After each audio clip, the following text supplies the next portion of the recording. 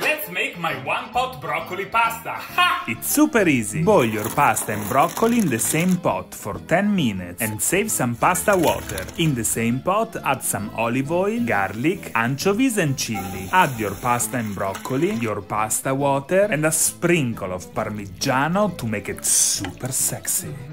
Mamma mia.